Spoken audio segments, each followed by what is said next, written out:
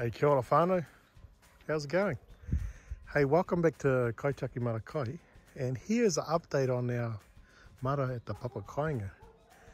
Um, my sister-in-laws um, have been picking it up and working with it to suit their own space and their own way of doing things.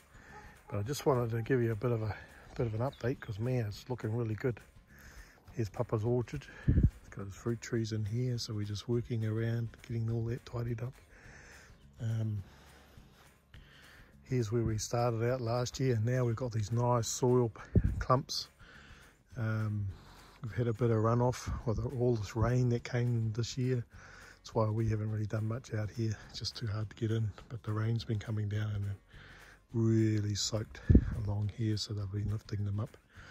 Um, first season of asparagus was in here and it came through um, this year. So we're just um, letting that um, mature away. Here's Nana's um, rhubarb. This is the heirloom one. Yeah so that's growing really well. Um, raised beds. This looks like spinach. Some of the strawberries we had over there more spinach, mint that used to be over here. Um, this is where the kumara was along this stretch here. Um, strawberries are starting to come through. here, that's what these are. yeah. Um, yeah, it's looking good. What we've been talking with the whānau, has been on a bit of a plan is, and this is where we're going to come and plant our potatoes. One lot of our potato plants is they're going to put the bed up and we're going to replant it here because we actually, we've actually got some really nice soil in here. Um, so potatoes in two weeks time. So you'll have a little look at that. So we're going to put all our root crops, particularly like potatoes, kumara, piru piru over this side and I'll show you where they're going to put all their leafy stuff, brassicas, um,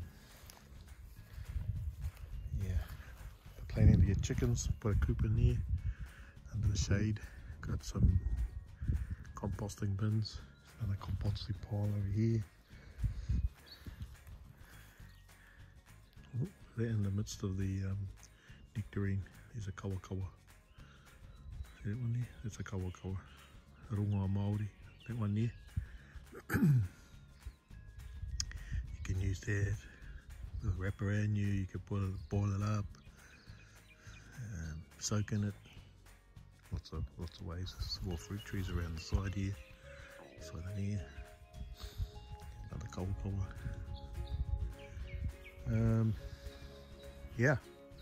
So we're we're planning to think about um, uh, looking at putting up a permaculture around here in relationship to swales. So we're thinking of a swale uh, along there, maybe a couple of them because we're now getting a lot of water running down this way. And so I'm thinking about a food forest along the mounds of the swales and then it runs there, there. So we might end up putting two swales in and then put a food forest in, in, in, in there. Um, so we're just thinking what that could look like. And that's not my own idea, it's Geoff Lawton um, over in Australia does a lot around permaculture and swales and the, usage of it. And then slowly the water comes down, captured comes down. In effect, this is kind of like, you know, capturing the water down to the orchard. But yeah, the girl's doing really well. And um, now, here's an example of what happens when you leave the soil exposed. Um, now we've had a lot of rain uh, they've transferred what we grew in here onto into our raised beds that they've made of those half barrels. Uh, but when your soil is exposed like this, with no protection on it, see how it's compacted? See this is, that's gone very hard. So even though we've got produce growing in it, the importance of um, having a cover crop or a cover over it like you see a little bit over there there's a bit of covering over there. Um, when the rain and we've had a lot of rain this year through Northland. Um, it uh, it impacts onto the soil and basically what we had toiled up and was all nice and loose it gets compacted. Um, and then all the nutrients actually just run off down the hill. So whereas if I, if I come over here in this matter because there's vegetation in it. I see how it's all nice and yeah look at that it's all loose. It's all loose in there. That, see that? That's the difference. So sometimes if you're not going to use a māra is to put a cover crop in to hold it in place. And what the cover crop will do, uh, like lupins, is we'll, we'll put the um, nitrogen um, and carbon back into the soil. So even though this one looks looks funny, but this one's actually really good. Um, but you know, he's, we'll fix it. He's, he's to fix. And same over same over here. Got a bit of compaction going on. But those are all lessons for us and good examples. Anyway, this is this side and the orchard. We talked about getting this tidied up, slowly working on it, be able to get back access to our fruit trees and then think about other fruit trees we want to put in here. Um, particularly utilising the, the canopy that's here to give, give protection for our baby ones. Alright, I'm going to go around the other side and show you what's going on over there.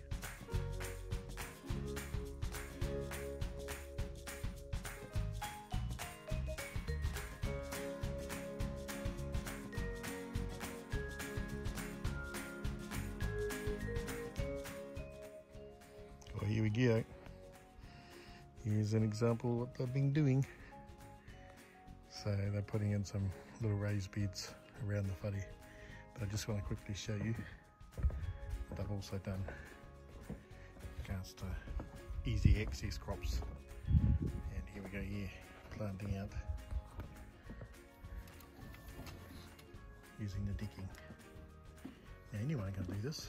Look at that celery, spinach, more celery, rhubarb. So they're utilising deck space to grow their vegetables. Awesome. And here's a bigger shot of the raised beds.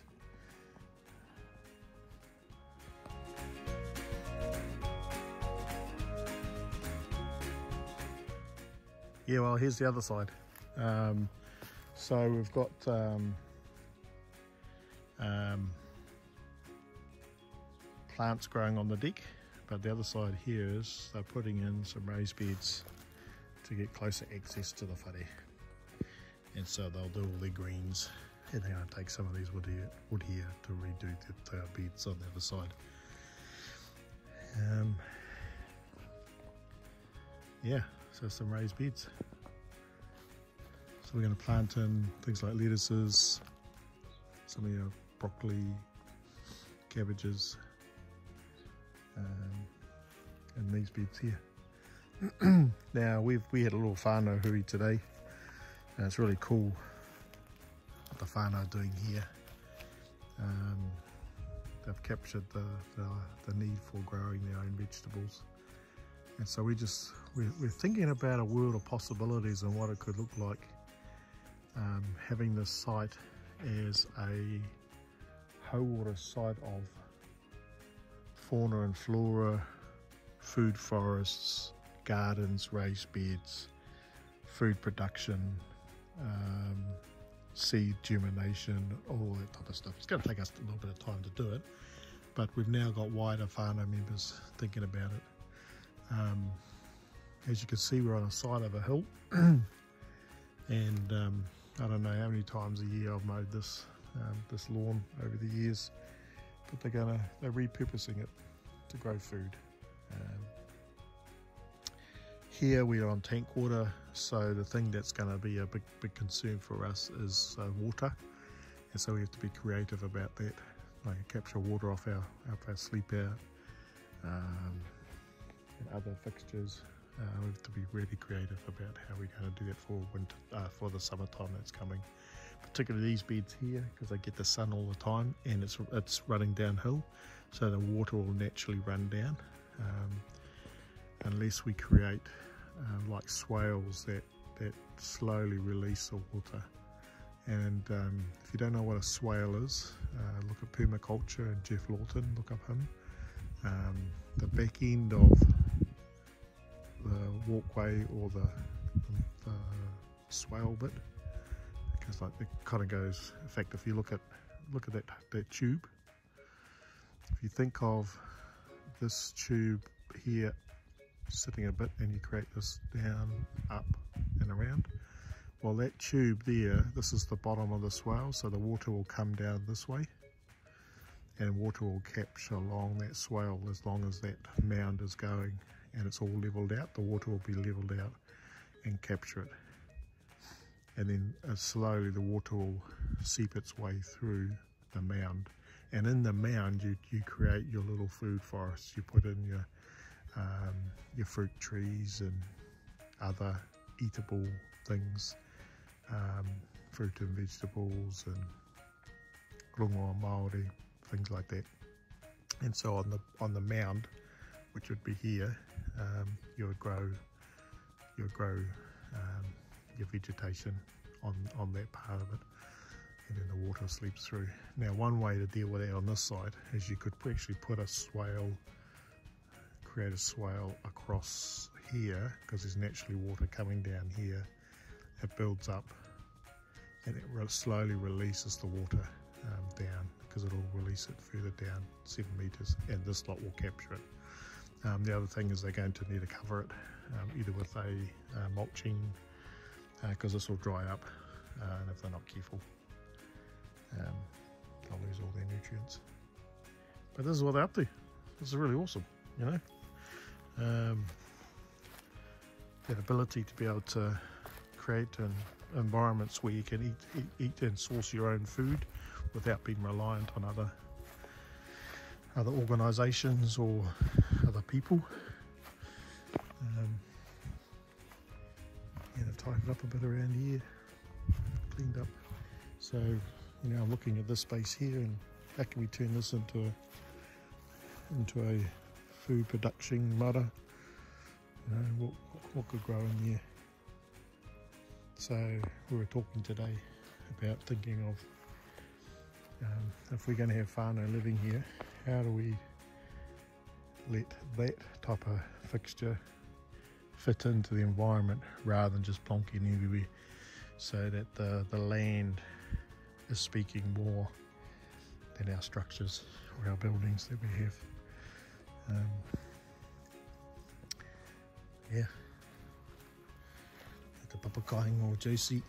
For those overseas that watch this, a papakainga would be it's an indigenous um, homeland.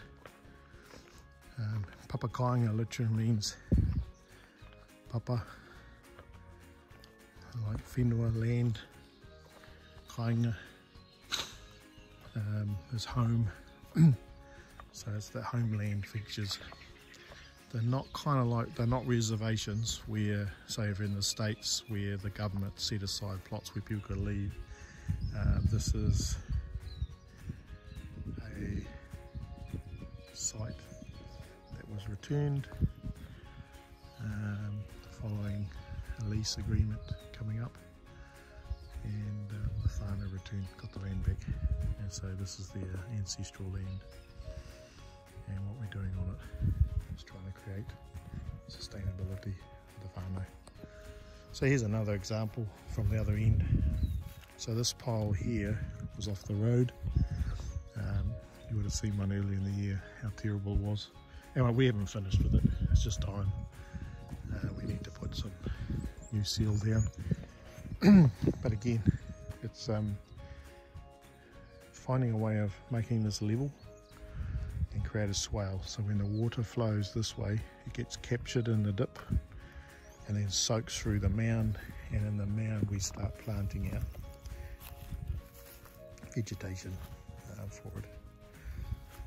So we're just just working on what that could look like. So we have water runoff, capture it, capture it, and then hopefully feed. So that's going to be an interesting one to think about. A swales along here um, to capture the runoff. That then feeds, a feed food forest along this bit. Hmm, interesting. Anyway, anyways, that's a big, that's a bit of an update. Um, you know, Manuka is flowering, so we had our bees here. Oh man, they'd be munching out like crazy. Um, okay. Bless your whānau. Um, this is um, Rewai Te Kahu, Kaitaki Marakai Backyard Gardens, and this is the māra that we're dealing with on our papakainga. And my my sister-in-laws have picked it up now and we're just supporting each other in that. Pretty stoked really with them. It's our homeland.